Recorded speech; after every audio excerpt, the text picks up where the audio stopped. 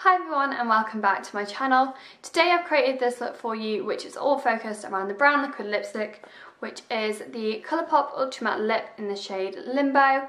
Um, ever since I got this shade I have been loving it and you might have seen my blog post about it which I will link below if you haven't but if you'd like to see how I created this look please keep watching and don't forget to subscribe. So to get started I've already applied my foundation and my eyebrows and for that I use the Illamasqua Skin Base Foundation in SB10 and the Zoeva Silk Finish Brush in, in, it's just number 102. Uh, these are a great combo and have really good coverage. I'm having really bad skin at the moment, um, that's why I kind of started this look with my foundation on. Um, but yeah, if you're having any problems or blemishes or redness, this foundation covers really well, so I would recommend that. And for my brows, I use the Bobbi Brown Brow Powder in the shade Mahogany. Let's get started. Today the purpose of this tutorial is really just to use um, my new product which is the Colourpop Ultra Matte Lip in the shade Limbo. Um, it's one of the products that I've been kind of classified as a dupe for the Kylie uh, Jenner Lip Kit True Brown K. So I'm really excited to use this. So I wanted to create a bit more of a glam look for you today and that's what I'm going to be trying to do. As always I'm just going to apply uh, my Lay and Low paint pot from MAC. I'm just going to apply that all over my eyelid.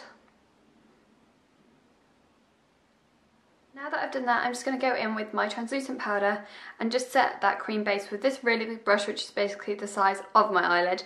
But just because I want to make sure it's set really well, otherwise the colours don't blend out. I know I look a little crazy now, but I've got both tapes, uh, both tapes, both bits of tape secured so that they're even on like the top bit of my eye.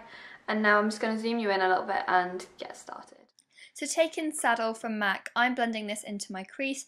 It's a really nice warm um, matte orangey brown shade and I've been using this quite a lot at the moment um, but I'm just making sure that it's blended out up to my eyebrow really seamlessly and there's no sharp lines and then I'm going in and doing that on the other eye.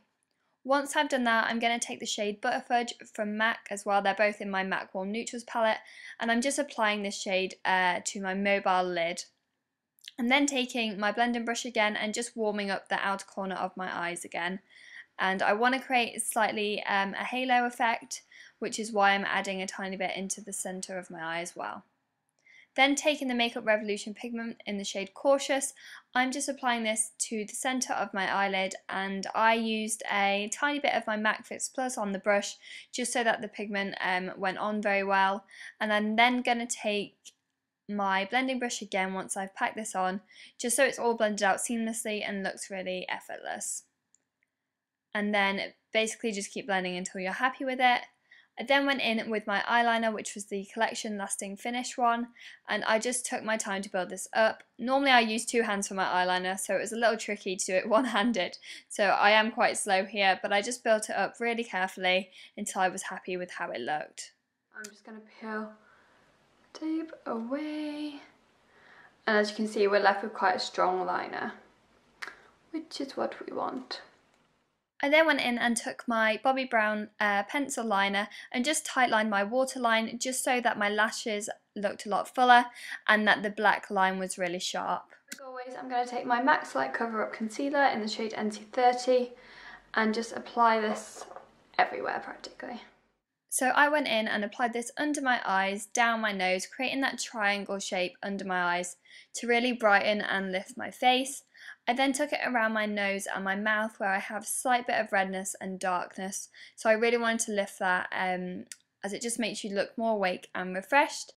I then went in with Saddle just under my eyes once I'd done my concealer just to balance out the look and create a bit more depth so I forgot my mascara so I just had to get up so sorry if I'm sat a little differently to I was before but I'm just going to go in with my L'Oreal Voluminous Mascara.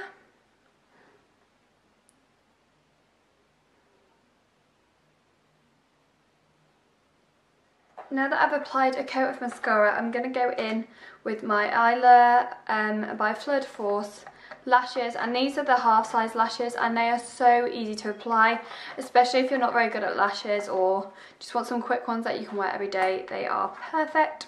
So I'm just going to go in and put these on for you.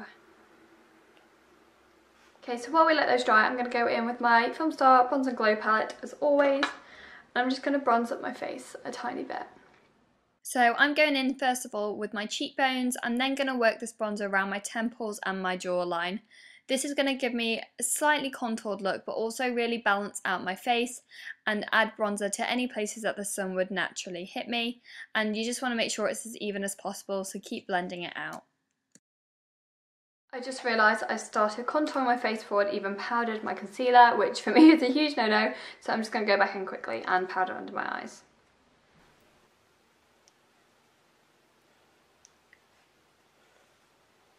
I'm just going to go back in with bronzer and carry on just warming up my face.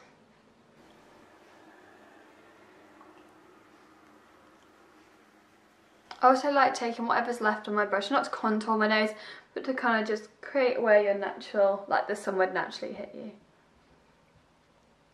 Then going in with Ecstasy by Charlotte Tilbury. I'm just going to apply that to both of my cheeks on top of where I contoured.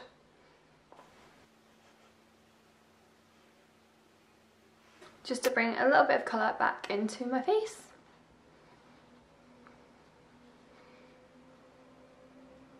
actually put quite a lot on in real life but the camera's not picking up so we'll just go with it. Then taking the Morphe N310 fan brush I'm going to use this with the Laura Geller uh, Gilded Honey Highlight which I have been loving ever since my last video that I did. If you saw it uh, make sure you go check it out. Apply this to the tops of my cheekbones. Can you see?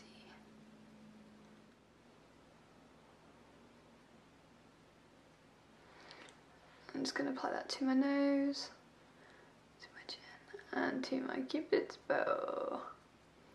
And more to my cheeks because I love it.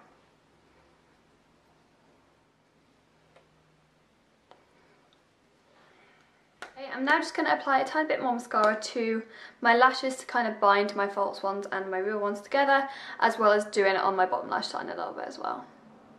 Before I go in with my lips, I'm just going to apply some Fix Plus all over my skin, just to kind of bind all those powders together because I've used a lot of powder and this will help it look a lot more natural on my skin and less cakey.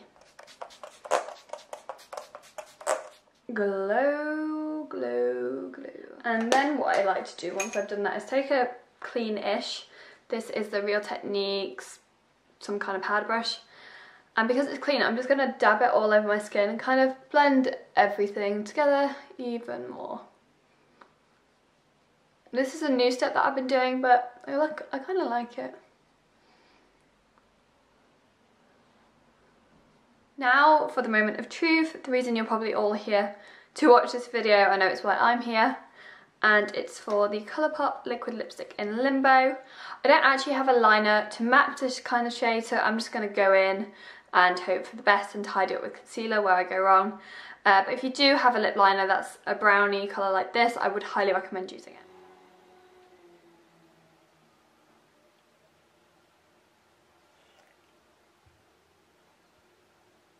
Nearly there.